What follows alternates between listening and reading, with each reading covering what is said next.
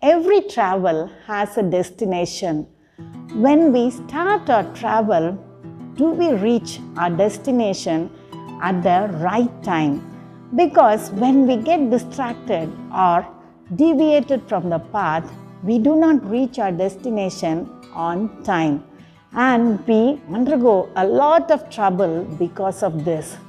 We are going to see about this in this mind. எல்லா பயணத்துக்கும் ஒரு luck இருக்குது அந்த லக்கை நம்ம சரியான நேரத்தில் போய் சேர்றோமா சரியான பாதையில் போய் சேர்றோமான்றது தான் ரொம்ப முக்கியம். பாதை மாறி நம்ம போகும்போது நம்ம லக்கை நம்ம சரியான நேரத்தில் போய் சேர்றதில்ல. இதனால நம்ம பல துன்பங்களை அடைகிறோம் அதை பற்றி தான் இன்னைக்கு நம்ம இந்த கதையில் பார்க்க போகிறோம்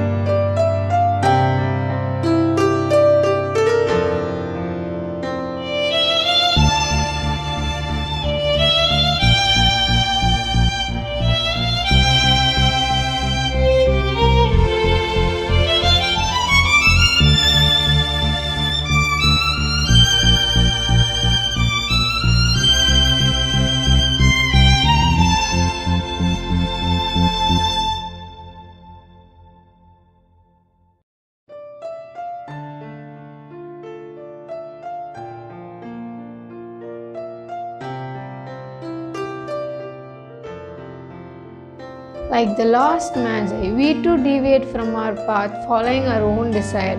We even fail to listen to others. Then we suffer, lose, and then we realize that we are wrong. But then it is too late and almost the end. So let us think, listen, then act. God bless you all. Wish you all a Merry Christmas. இந்த தொலைஞ்சி போன சாஸ்திரி மாதிரி தான் நம்மளும் நம்ம வாழ்க்கையில் என்ன நோக்கம் எந்த பாதையில் போகணுன்றத மறந்துடுறோம். மற்றவங்க சொல்கிறதையும் நம்ம கேட்குறதில்ல நம்முடைய ஆசைகளுக்கோ நம்முடைய விருப்பங்களுக்கோ நம்ம இணங்கி நடக்கிறோம். ஆனால் அது தப்புன்னு நம்ம உணரும் போது ரொம்ப ரொம்ப நேரம் கடந்து போயிடுது இதனால நம்ம நிறைய இழந்து போகிறோம் ரொம்ப கஷ்டங்களை அனுபவிக்க வேண்டியது இருக்குது அப்படி இல்லாமல் நம்ம சரியான நேரத்தில் சரியான யோசனையோட மற்றவங்க சொல்கிறதையும் கேட்டு நடந்துக்கிட்டா நம்ம சேர வேண்டிய இடத்துக்கு சரியான நேரத்தில் சந்தோஷமாக போய் சேருவோம். எல்லோருக்கும் இனிய கிறிஸ்மஸ் நல்வாழ்த்துக்கள்.